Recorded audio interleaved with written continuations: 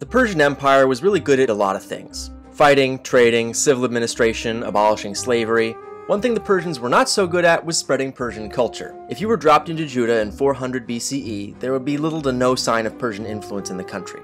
But that's okay. The Achaemenids didn't care about spreading their culture. The Persian Empire was united by common interests and common values, rather than a singular language or religion. That's not to say Judaism didn't change under Persian rule, it changed a lot but it didn't really become more Persian, with one exception. One of the most popular holidays in the Persian Empire was Nowruz, the Iranian New Year. Almost everyone in the empire celebrated it, which was a problem for the Jews because most rabbis disapproved of holidays that weren't in the Bible. So to rectify this, the high priest composed a biblical parable to justify the holiday, the Book of Esther, and that's how we got Purim. So let's talk about the Greeks. By the 4th century BCE, the Greeks and the Jews had already gone way back.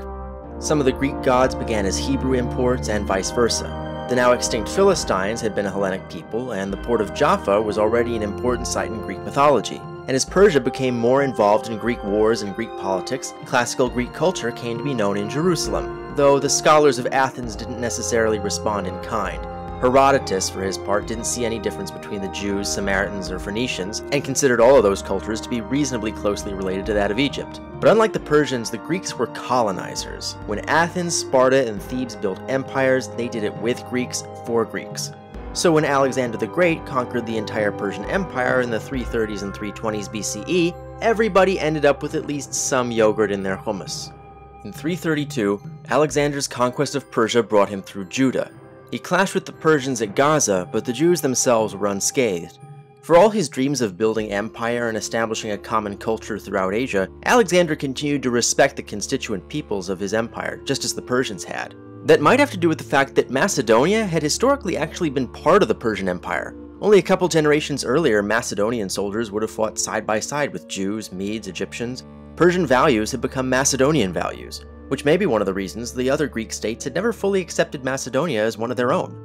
At this point, Judah had been under foreign rule for so long that the idea of returning to independence had ceased to be relevant, so long as Alexander kept up his end of the bargain. Let him be Alexander the Great, King of Macedon, Lord of Asia, Pharaoh of Egypt, and King of Kings of Persia, at the same time, Alexander's conquest made Greek culture available in a way that Persian culture had never been. And it's here where Judaism really comes into contact with Greek philosophy. The more metaphysical ideas purported by Plato and Aristotle never penetrated into Judaism the way they did with Christianity, but some aspects ultimately did find their way into the Bible in the form of Proverbs, Job, the Song of Songs, and Ecclesiastes. The Greeks also introduced something to Jewish culture that I don't think we could have done without theater. When Alexander the Great conquered Judea, construction began on a previously undeveloped section of Jerusalem, Mount Zion. This upper city was built on a Greek-style grid, and the very first building to be completed was an amphitheater.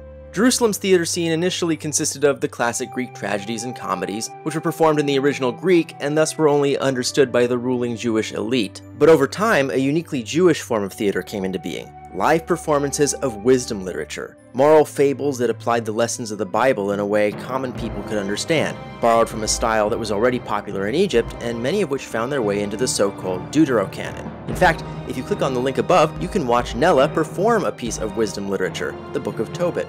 Most significant for the next several centuries was the introduction of Greek ideas on government, but this topic is so complicated that it will get its own episode in due time. Alexander's own empire didn't last very long before being divvied up by his generals, but he gave the known world of that time a common language, meaning educated Jews could speak to people all the way from Afghanistan to Spain.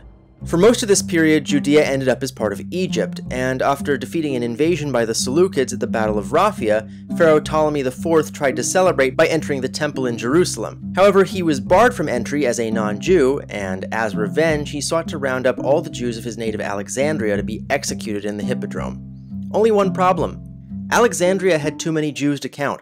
In fact, Alexandria had the largest Jewish population of any city in the world. By the 2nd century BCE, Alexandria, Antioch, Babylon, and Cyrene each had a larger Jewish population than Jerusalem, and for the first time in history, the majority of Jews no longer lived in Judah. Or as we should learn to start calling it, Judea.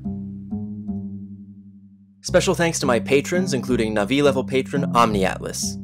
If you like this video, you too can donate via Patreon, link below, along with channel merch and my book, An Armada of Cats Travels in Israel. Otherwise, you can always like, share, and subscribe. I will see you next time.